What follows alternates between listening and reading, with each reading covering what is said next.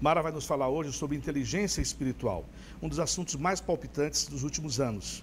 Livros estão sendo publicados, debates estão acontecendo, teses de mestrado estão sendo escritas e o telespectador da TV Guará, do Inspirar, vai ter a chance de conhecer de perto o que, que é isto que se chama inteligência espiritual. Mara, vamos começar então do começo. O que, que é inteligência espiritual? Bom, a inteligência espiritual, enquanto que a inteligência, o que nós chamamos de QI, né, ela se voltava para o domínio de coisas.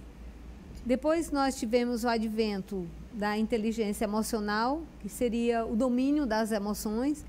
A inteligência espiritual, na realidade, ela é voltada para um domínio sobre si mesmo, né, baseada no autoconhecimento e na capacidade de autotransformação.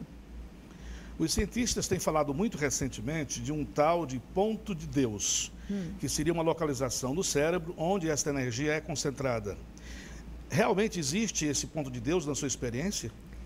Bom, dentro do ponto de vista da Brahma Kumaris, existe um local do cérebro onde se concentra toda a nossa energia, porque do ponto de vista da Brahma Kumaris, nós somos essa energia e não o corpo. E essa energia, ela se manifestaria, vamos dizer, a partir do centro da testa, né? num local onde é conhecido como estando a presença do terceiro olho. Né? E a inteligência espiritual estaria baseada na habilidade da utilização desse terceiro olho, ou seja, na habilidade de você conseguir perceber coisas que não são tão óbvias, né? coisas que são mais sutis, né? como, por exemplo, um sistema de computador. Né? Você está aqui no Word, mas por trás rola o Windows. Então, a inteligência espiritual seria a capacidade de você enxergar o Windows que está por trás do programa que você está usando. Ótimo. As outras ditas inteligências, cognitiva, emocional, uhum. etc., elas são uh, relacionadas pelos psicólogos como sendo atributos, ao mesmo tempo inatos, biológicos, hereditários, mas também são treináveis, uhum. são aprendíveis. Acontece a mesma coisa com a inteligência espiritual? É interessante porque para você desenvolver a sua inteligência espiritual, na minha percepção e da experiência que eu tenho dentro da Brahma Kumaris, eu acho que ela não funcionaria exatamente como as outras duas inteligências. Porque o que faz a inteligência espiritual funcionar melhor é exatamente algo que não é tão óbvio como as intenções. Então, eu não acredito que a sua inteligência espiritual ela funcionaria muito bem se você começasse a querer desenvolvê-la para conseguir obter coisas materiais, por exemplo. Ou para você se dar bem no seu emprego. Ou para você ser contratado na empresa.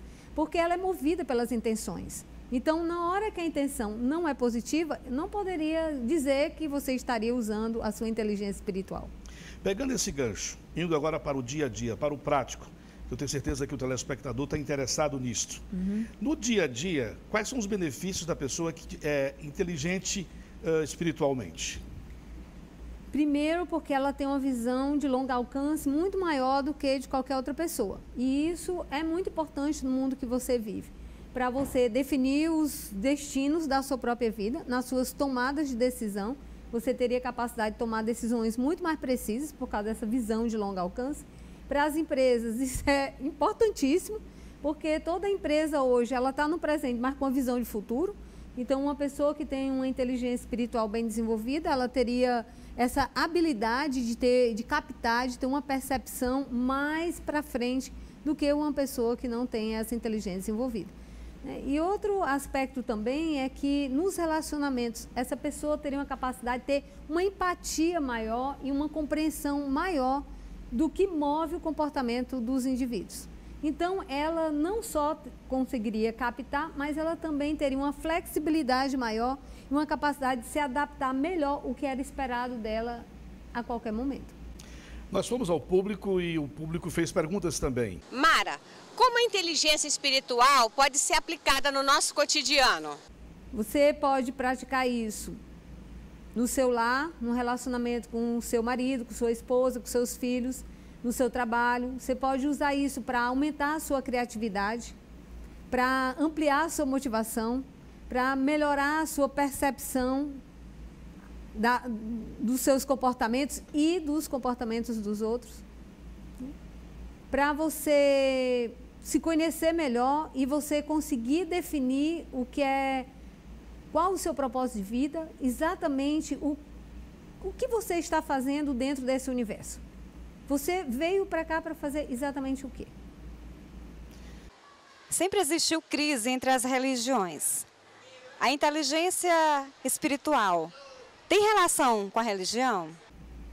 Não exatamente. Não precisa você ser uma pessoa religiosa, participar de qualquer religião para que você possa desenvolver essa inteligência espiritual. Na realidade, enquanto seres espirituais que nós somos, cada um de nós tem é, naturalmente essa inteligência. O que precisa é de você trazer à tona esse potencial que já existe. Acredito na reencarnação. O espírito, com o passar do tempo, com as suas novas experiências, pode adquirir inteligência espiritual? Ao longo dos nascimentos? Depende. Cada nascimento, na realidade, funcionaria como uma oportunidade para nós, seres humanos. Mas acumular essa inteligência vai depender de como eu uso essa oportunidade. Inspirar tem a ver com trazer para dentro, introversão. No próximo bloco, você vai se inspirar sim, porque você vai ver a mensagem do programa de hoje a respeito de inteligência espiritual. Voltamos já.